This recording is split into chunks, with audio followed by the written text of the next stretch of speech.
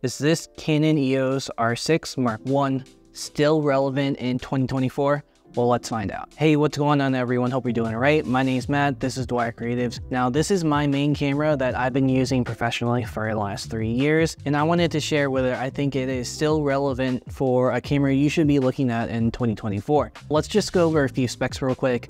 This was released in July of 2020, and it comes with a 20 megapixel full frame CMOS sensor with a Digic X processor. It shoots 4K 60 at 10-bit 422 color, and it has a 5-axis in-body image stabilization, which all goes into a weather seal package. This also includes a dual pixel CMOS autofocus 2 with 1053 autofocus points, and it also offers advanced subject detection for people, animals, and vehicles. It shoots at 12 frames per second mechanically and then up to 20 frames per second using the electronical shutter. It also uses their newer RF mounting system. So let's get into why I feel like this should be an option if you're looking to upgrade to a camera or get a new camera in 2024. Now it is currently April of 2024, so in just a few months in July, this camera will be four years old, meaning that there have been several other generations of cameras that have been released. That will drop the price, and especially in the used market, you're gonna find this around 12 to $1,600 right now. Now, comparing it to other relative cameras within the Canon family, you're looking at the R6 Mark II, which is about $2,400, the R5, which is about $3,200, or the R8, which is about $1,400, which is their entry-level full-frame camera right now. So let's compare that to some other brands of cameras too. The Sony a7R5 is about $3,900. The a7C2 is about $2,200. Fujifilm X-T5 is about 17 and the X-H2S is about $2,500. Now, as you can see, some of those cameras are a little bit newer. They may have some different features or more advanced features, but you are going to be paying substantially more for those features. Now, let's jump into the quality of the images and video. For me, I put this camera through the rigors and it always exceeded my expectations. Uh, there's one little caveat to it, which I'll get into. So for me, again, working for an off-road company, doing all their media, I was shooting both indoor and outdoor. For outdoor, whether we're on the road shooting rollers or we're at events in either like Texas, Arkansas, or some of these Gulf states, I did amazing with all those situations. Now, one thing that I did have to deal with was the high heat and the high humidity which I did say there's one caveat and I'll get to that in just a second. But on the photo side, I had no issues. I was able to get my rollers. I was able to get the photos at the event and both outside of the shop. On inside the shop, I did a lot of my footage, especially for like install videos inside the shop. And this was on like the undercarriages inside the engine bay, working with the powder coat booth or grinding booth or welding booth or just different parts of the shop that didn't get the best lighting. I would have to crank up that ISO. And for me, I was able to crank it high enough where I still got very usable footage and I posted that content with no issues for me. Um, you might have had to do a little bit on the post process, but overall the camera held it really well. Now, like I said, photos, no issue, but my one issue with this specific camera, and it's a well-known problem, was overheating. Again, I was based in Louisiana at the time, so we had like 100 plus degree weather, and the humidity is like 100%, so it's like walking through soup. Shooting for long periods of time, my camera overheated. There's a few ways to kind of mitigate that. Um, as you're shooting, you just turn it off and those little in-between periods, not ideal, but it does work and it will extend it. I had to do this at one of our events too. My camera started to overheat and I noticed it on and off. And then you wanna make sure that this little screen here is open, gives it, I guess, a little bit more airflow and you'll prolong the issue with the heating. But if you are a primarily video person and not really looking for the hybrid, I would probably pass on this because that is one thing that's making me want to upgrade from this to maybe like the R5C or something like that. Now, in terms of ergonomics and going through the menu, for the most part, I love this camera. I'm a Canon person. I've always shot on Canon. My first camera that I bought was a Canon.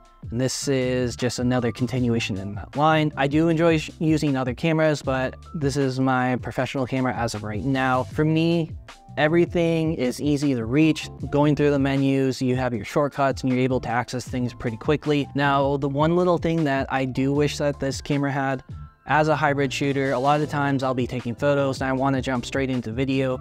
Instead of coming over to this dial here and switching over, I wish you had one little button that would allow you to jump straight into video in your settings that you set. Now it does have a video mode, but it doesn't really work that way. Now let's talk about their mounting system a little bit. The RF mount is their newer kind, well, at this point it's not really newer, but is the mounting system they use for their mirrorless cameras and their lenses are great. And I've been really happy with the different ones that I've used. Their third-party support hasn't been the best yet, but apparently Sigma is going to be coming out with a few different lenses, so I'm really excited about that. But you do have one alternative.